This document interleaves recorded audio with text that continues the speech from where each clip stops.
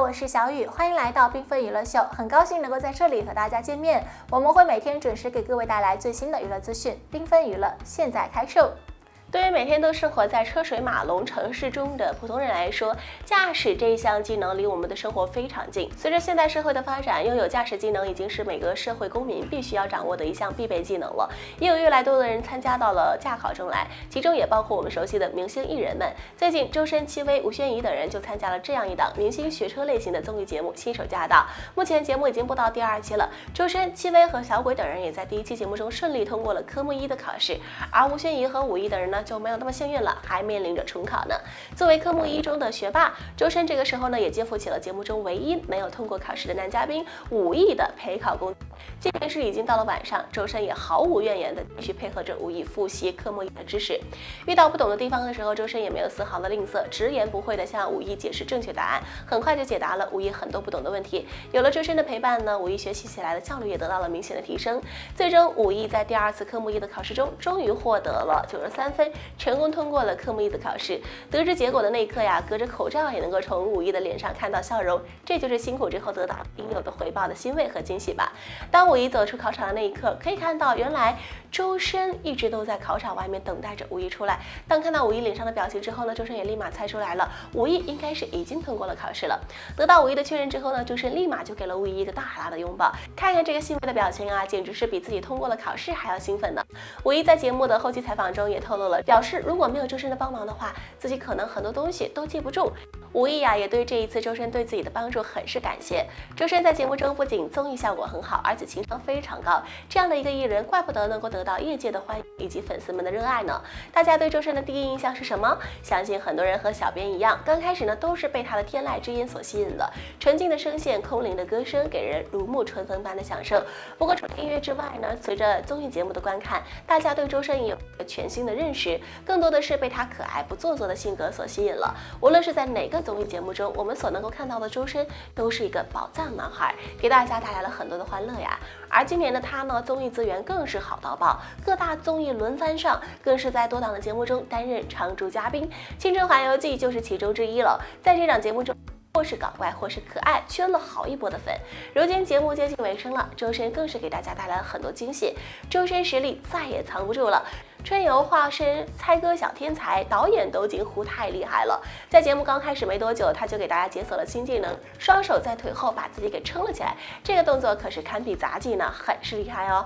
在之后的猜歌环节，周深的实力再也藏不住了，完全就变成了自己的主场，连翻猜中十几首的歌曲。旁边的嘉宾啊，都是沦为了背景板，毫无参与感。就连平时这个环节厉害的杨迪，都被导演吐槽滑铁卢了。可见周深的厉害。其实，在之前的几期游戏当中呢，周深也是能够很快的猜出歌曲，这是出于谦让的原因吧，都让给了嘉宾或者是其他的小伙伴。这次收官之战当中呢，肖战也想给自己留个高能时刻吧，导演吴彤都惊呼打得太好了。值得一提的是，在这番表现之后，周深再次开始谦让了，有些歌曲都不去猜，而是让其他的小伙伴们去猜，给他们一些参与感，这也是相当的暖心了呢。难怪会有这么多的网友们喜欢他。谦让低调的性格真的是太吸粉了呢。周深憋气六十七秒获好评，可是弹幕的评价却太意外了，这是高级黑。听过周深歌曲的人应该都知道他的实力吧？清澈空灵的声音如是天籁般带给大家听觉的享受。不论是大鱼的深情浪漫、达拉崩巴活泼欢快，还是其他多种曲风的百变音韵，都让大家着迷不已。尽管很多人诟病周深本人的真人秀表现，但是在音乐领域不得不承认他确实是优秀的，否则也不会时隔多年。就凭借了《我是歌手》这一档节目就爆红吧，实力肯定是不可小觑的。近日，周深在他的常驻综艺节目《青春环游记》中就展示了他有实力的一方面，在猜歌的环节直接化身为音乐小天才，说一首就猜出一首，对音乐的熟悉度相当了得哦。不过很遗憾的是，在憋气的环节，周深就被网友高级黑了。本来节目组要求五个嘉宾憋气一百五十秒，因为前面几个嘉宾不太给力，所以最后的六十七秒全靠周深一个人来完成。对于歌手来说，这还是小 case。周深。轻轻松松的就完成了憋气的任务，同行的嘉宾啊都好评不已，尤其是周深还中途说话，更让大家直呼太厉害了。虽然周深表现得相当棒，但是看到弹幕上的评价就太恶意满满了。原来在周深的憋气过程中啊，弹幕中的网友就疯狂刷华晨宇，一系列的拿周深来衬托华晨宇的评论刷了好多好多。花花轻轻松松就做到了，花花一个人就一百秒了，这个游戏应该让花花来等等，这一系列的神操作也是惊呆了大家呀！没想到这个丝毫和华晨宇没有关系的节目，居然弹幕就充斥着华晨宇的好评，这是在高级黑周深吗？两个人同时是歌手，没必要这样尬黑吧？只是一档综艺节目，憋气的时间长短也不是真正的音乐实力，只是综艺效果而已。小编还是想说，看综艺啊，还是专注点比较好，不要 Q 到无关的人。这不仅对节目中的嘉宾的尊重，也是弹幕礼仪的基本体现呀！难道做一个有礼貌、文明的网络人不好吗？网友朋友们，你们觉得呢？吃瓜不停，娱乐不断，感谢大家关注缤纷娱乐秀。